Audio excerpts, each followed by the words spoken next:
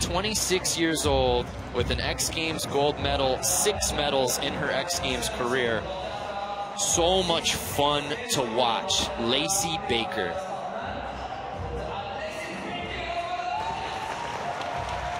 Lacey won the Berrics 2018 Populist Video Contest. She did.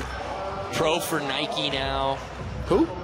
She did win that Populist contest. I was. That's just the support and love for her, man. That's that's where that came from. You know, she's You know- getting a lot of high-profile media coverage. New York Times, Vogue, Yes, Rolling. Stone. And it hasn't had an effect on her skateboarding negatively at all. Has not. It's only raised the level. It really like she knows she has to put on for a lot of people now. So and it's not pressure. She's happy to do it. It's different. You know, she doesn't. Have, oh man, I, that's, I said she had to get that if she wanted to do it, but she didn't.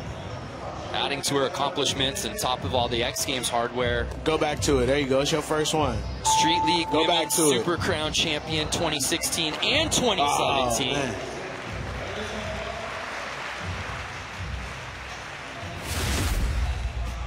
But again, as we take another look, it wasn't Look at that little perfect from Lacey Baker, but just a preview of what to come if she can clean some stuff up.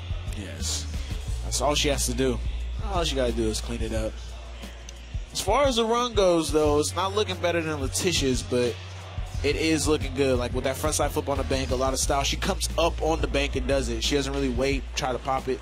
She like is flying up the bank, which looks really cool. It does. The style is there with Lacey Baker.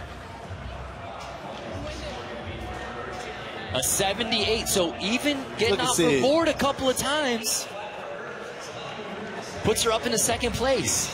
She's so beast.